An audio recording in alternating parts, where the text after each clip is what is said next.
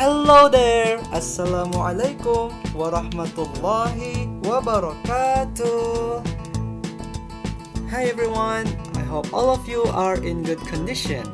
In this video, I hope you are going to watch something very useful and also interesting. Mr. Fauzan is here. In this video, we are going to learn specifically about finding the perimeter of square and rectangle. As you know, this video is provided for primary 4. Well, specifically in this video, you are going to learn how to find perimeter of a rectangle when the length and breadth are already given. And the next thing is how to find perimeter of a square when the side is also already given. Then the third one you need to know is how to find the unknown length uh, or breadth or side if the perimeter is already given. Okay, let's start with Bismillah and don't forget to smile.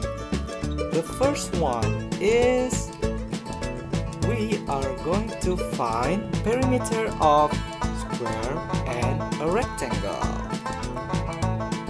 First thing first, let's consider this rectangle. As you know, rectangle consists of length and breadth, or width, you may also say that. As we know, perimeter is the distance covering the figure. In other words, perimeter is the total sum of all sides. Let's take a look. This length up here is 6 units. On the right, we have the breadth is equals to 4 units. The length at the bottom, don't forget it. It is equal to 6 units. And last but not least, don't forget this breadth here. It is equals to 4 units. So the perimeter is 6 plus 4 plus 6 plus 4. That is equals to 20 units. Hmm, easy, right? Alhamdulillah. Now let's move on to find the perimeter of a square. Consider this square. As for square, it has four equal sides.